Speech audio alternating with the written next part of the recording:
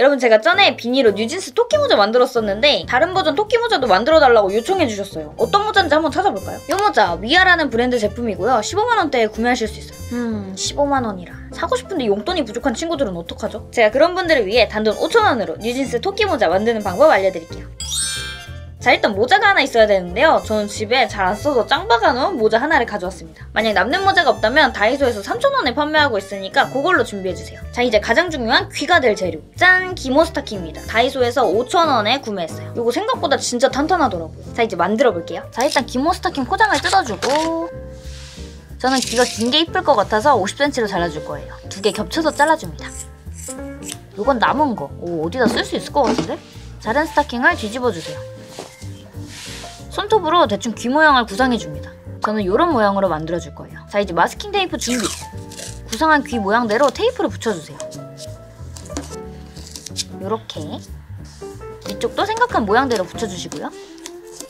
오 진짜 귀 같아. 자 이제 침핀 준비. 두 면이 판판하게 똑바로 고정될 수 있도록 침핀으로 고정해줄게요. 자 이제 실과 바늘을 가져왔습니다. 이제부터 노가다의 시작이에요. 마스킹 테이프 라인에 따라서 바느질 해주세요. 짠! 저는 재봉틀로 빠르게 박아줬어요. 인생은 역시 장비빨이지. 이제 마스킹 테이프를 거침없이 떼어줍니다. 그리고 가위로 테두리 여백을 살짝 남기고 잘라주세요. 오, 소리 너무 좋은데? 자, 됐으면 이제 뒤집어 주겠습니다.